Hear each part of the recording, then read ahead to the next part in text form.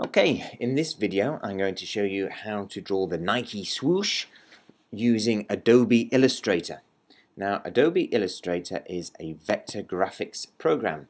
That means it draws using coordinates and because it uses coordinates the picture can be scaled to any size without losing any quality and that's what you want from a logo because you might use your logo nice and small or you might use it massive on a huge great big billboard poster by the side of a motorway or on the side of a sports stadium. So we need that scalable font without it losing um, that scalable drawing without it losing quality like you would with a bitmap graphic. If we were making bitmap we would use Photoshop but this is vector so we're using Illustrator. So here's my source material. This is what I want to draw. So I'm going to go to Illustrator and make a new image. And then I'm going to choose the size of my picture. Now I've got things here, paper sizes, but I'm not worrying about paper size. And anyway, this is a vector graphic, so we can put it any size we want when we're finished without it losing quality. So I'm going to put a custom size of 400 by 300 and I'm going to click OK and that does a nice big picture there but if I zoom in you can see that this actual image is actually down at 261%, which is far too big, uh, and certainly I can't see my logo. So I'm just going to make that window smaller so I can see my logo, and then I'm going to change the size to about 100%, and you can see that gives me enough room to see the two. So how do I draw in Illustrator? Well, the best way of drawing is with the pen tool. And this puts coordinates on the page. So if I click and I click and I click and I click and I click where that's there and I click over there you can see I've drawn a very angular uh, swoosh. Not very swooshy at all but uh, more like a, a, a tick. Um, but these are points, these are coordinates. So if I just uh, uh, look at those, there they are. Now I can move those if I go to the white arrow, not the black arrow, which would move everything. If I go to the white arrow, I can move those coordinates individually around and position them uh, exactly where I'd want them to be. So I might move that one uh, down a bit like that. So that's sort of roughly the shape of our Nike swoosh, but obviously you can see that's curved and this is angular. So what I'm going to do, I'm going to select a couple of those points, one at a time, and convert them from an angle to a curve.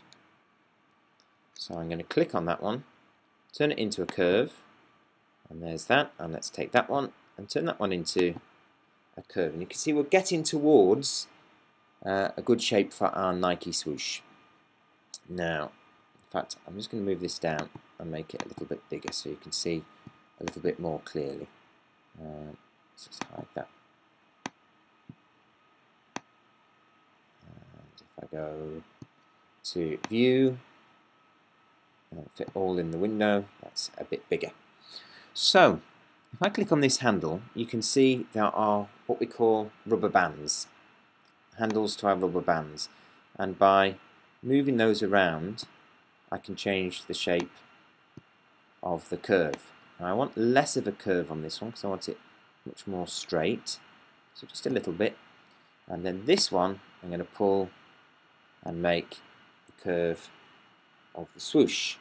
I now need to do up here. So I'm just going to I think move that up a little bit and maybe over that's looking a bit more like it. Let's get the rubber band on this and see if we can get the curve matching a little bit more. And Move that to there. Actually, maybe I'll just shrink that back a bit like that. Uh, maybe that's just a little bit too fat.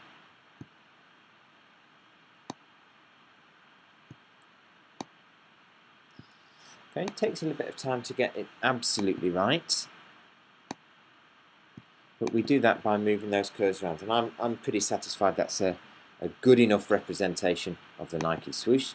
So I'm going to go to my black arrow, select the shape, and then up here on where it says path, I'm going to add some colour so I can make that a black swoosh like our example, or I can make it a red swoosh, maybe let's get rid of the, the border.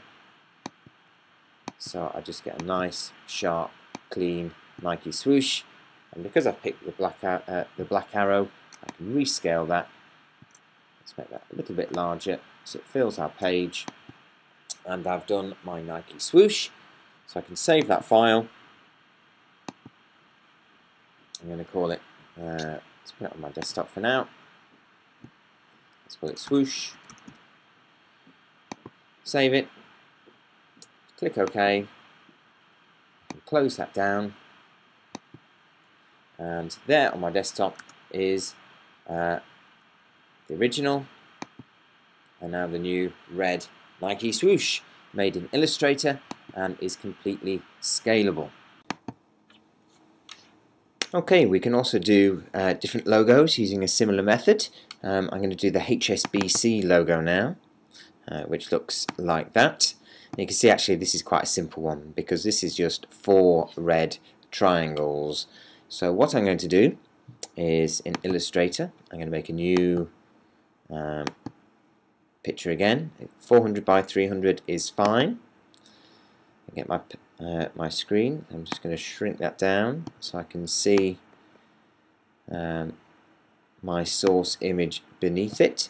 If I go to View and Fit All in Window, then I can see everything I'm going to draw.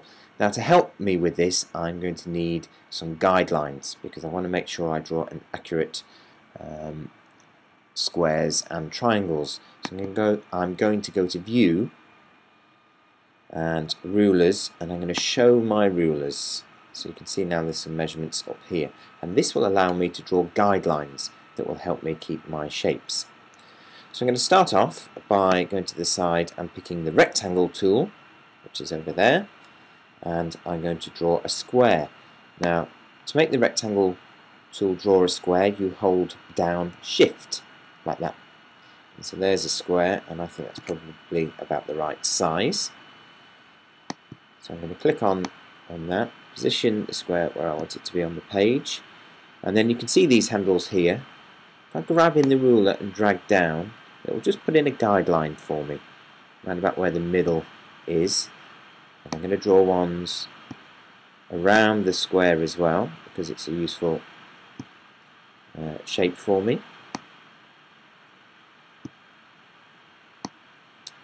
and then I'm going to remove the line from that um, where's the toolbar has gone no tools. There it is. I'm going to click on the box remove the line because I don't want any border around my box. And so I've got my guidelines. I'm now going to use the polygon tool to draw a triangle. Now when I draw this you can see the shape has got too many sides. Now while I'm still drawing it, I'm holding the mouse button down, if I press the up and down arrow keys I can change the number of sides to my polygon. So I want a three-sided triangle. If I hold shift it will keep it as an equilateral triangle which is a good starting point. Uh, once I draw my triangle, I'm going to move it into one of the lower the lower space of the square and use the guidelines to get the size exactly right. So I'll bring that down to the halfway point. And then let's colour that in red. So I've got my red triangle. Done. So now I'm going to copy this. So propeller C to copy, copy and propeller V to paste. So there's another triangle. Let's put it in the top half. And I'll just go near to that corner with the arrow. It turns to a, a rotate. If I hold shift, it will rotate it through angles of 45 degrees. So I get a nice, neat 180 degree turn that way. So that looks pretty good to me.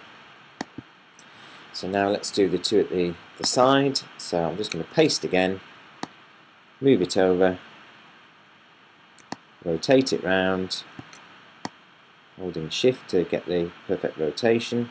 Let's get that lined up in the middle. And let's paste again, bring it to the other side, go near the corner, hold shift, rotate it round, line that up with my guidelines. That's spot on. And then what am I going to do? Well, I'm going to hide the guidelines so I can't see those. So I'm going to go to View, Guides, hide the guides so I can see my logo. I'm going to select everything. Then I'm going to go to Object and Group. So we now have one logo. I can move around, position on the page, and again, scale this without any loss of quality because it is a vector image. Let's save that one. Save HSBC.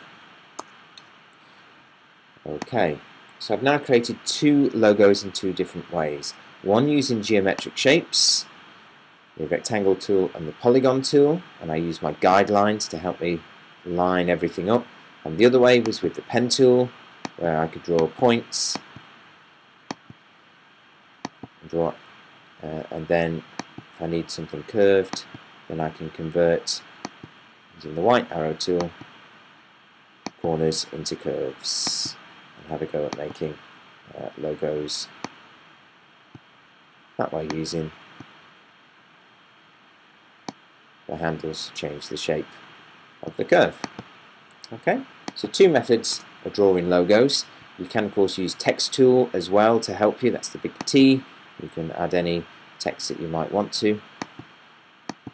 So I could write HSBC and that looks to me to be the right font to begin with. So I can enlarge that.